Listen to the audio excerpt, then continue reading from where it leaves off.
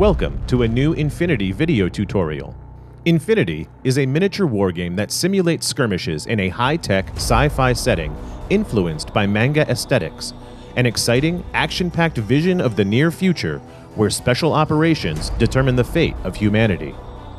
In this video, we'll explore how dice rolls are used to determine the success or failure of an action. We'll be using the upcoming Operation Red Veil Battle Pack, the best option if you're looking to dip your toes into Infinity. 1. Normal Rolls In Infinity, troops have a troop profile with information about their attributes.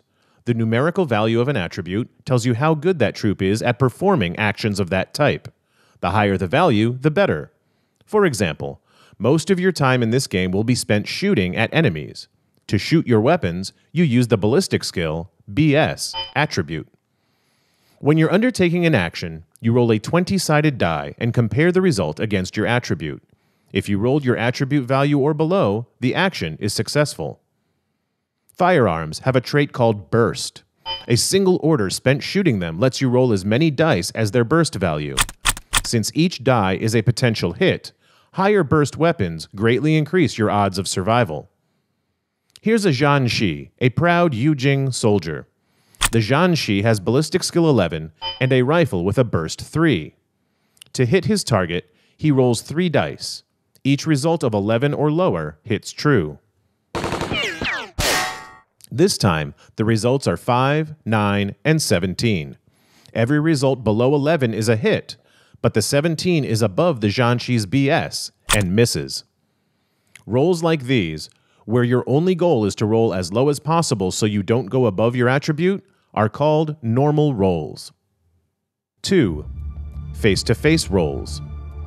One sided firefights are a rare occurrence in Infinity.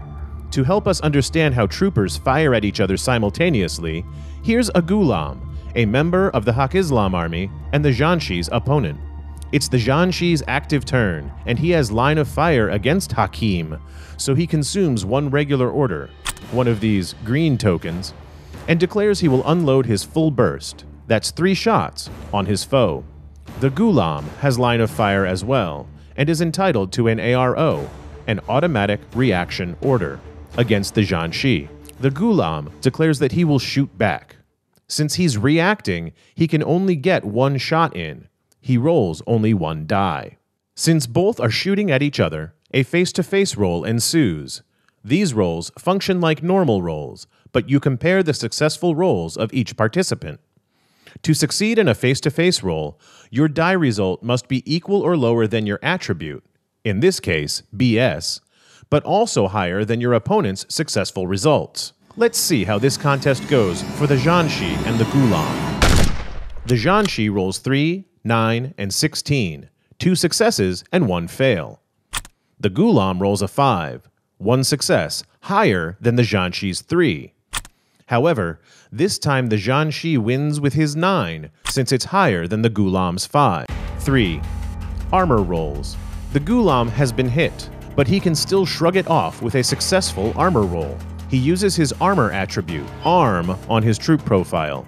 He has to roll one die and add his arm value to the result. If the final result is higher than the damage value of the weapon that hit him, he's saved. We check combi rifle stats and see that it has damage 13. The Ghulam's roll, modified by his armor, must be above 13. He gets a 15, plus 1 from his armor.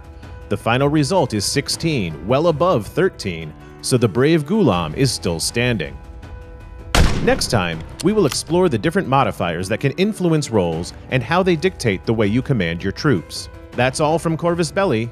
Thank you for watching, and don't forget to visit infinitythegame.com to learn more about this game and its top notch range of miniatures. Keep connected.